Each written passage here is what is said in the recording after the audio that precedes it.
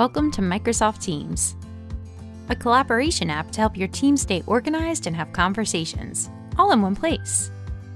In Teams, you can see a list of all the teams you're on. Teams are made up of channels. You can build them by topic, department, or just for fun. Channels are where the real work gets done, where you hold meetings, have team conversations, and share files.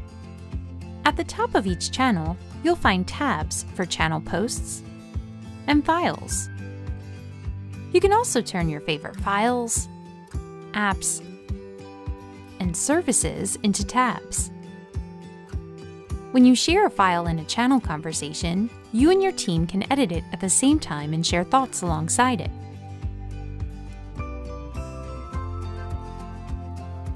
Go to the Files tab to find all the files that have been shared in a channel, or Files on the left to see all files shared across teams. Use Chat when you want to talk privately with a person or a group. Select New Chat at the top and type in a name or names. Then type a message and send it. To make a call directly from a chat, choose Video Call or Audio Call. If your organization has it set up, use calls to call anyone from Teams, even if they're not using it.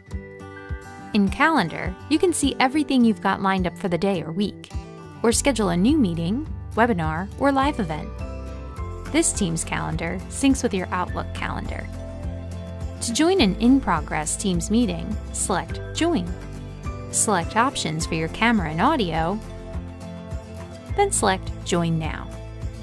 In a meeting, you can choose to record the meeting or share content from your device, such as a PowerPoint presentation.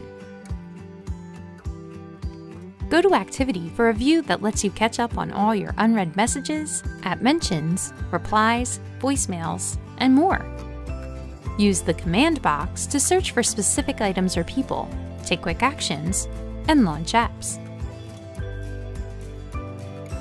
And download the mobile app so you're in sync when you're on the go. Now bring in your colleagues and let the teamwork begin.